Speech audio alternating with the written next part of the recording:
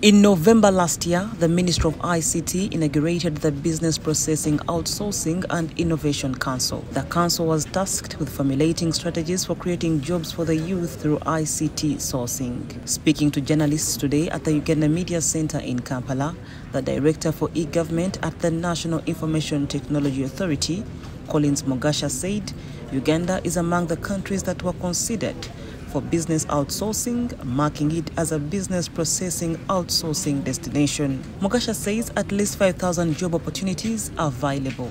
We really expect that whenever we create regional centers, these are for the local people there. That's the idea.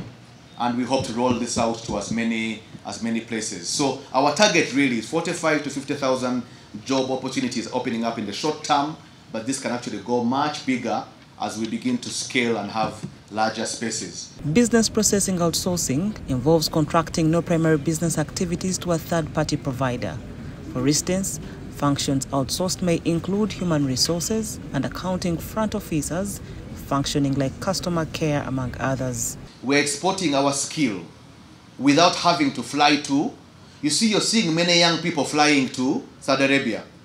Many people are flying to Dubai. Many people are leaving the country, but we're saying no. You can actually do this work, be paid well, and do professional work here in Uganda on the internet. The government hopes business processing outsourcing will position Uganda as a major global competitor in providing customer solutions for businesses. The youth have been advised to position themselves to tap into the opportunity. Report compiled by Jaliat Namoya for the news.